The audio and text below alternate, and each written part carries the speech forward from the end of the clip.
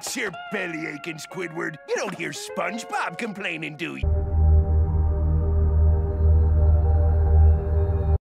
You could learn a few things from that boy. Mr. Krabs, he is not normal.